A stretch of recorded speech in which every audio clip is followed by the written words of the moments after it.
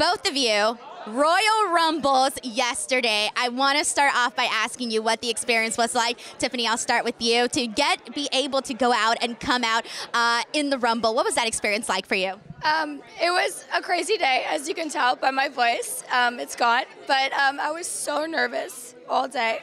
Um, and when I went out there, all the nerves went away, and I just did what I knew. And it was amazing. It was everything that I could ask for.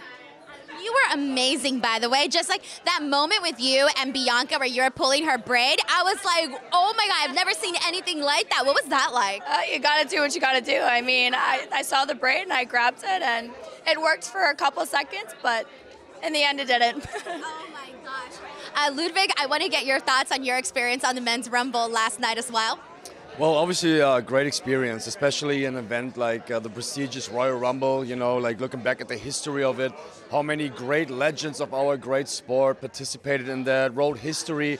Um, for myself yesterday, I actually um, got to write some history. I was the very first German ever in the Royal Rumble, which is an uh, amazing privilege and honor to me.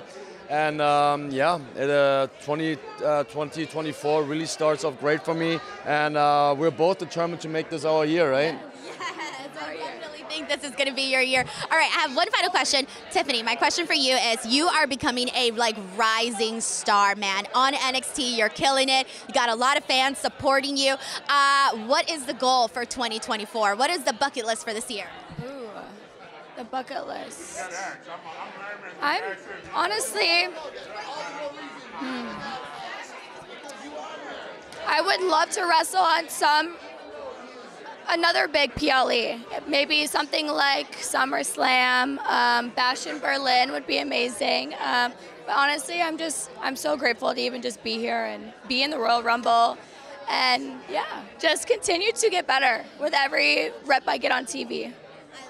You guys are awesome, great power couple, and I'll let you guys enjoy the rest of your evening. Thank you so much. Take care.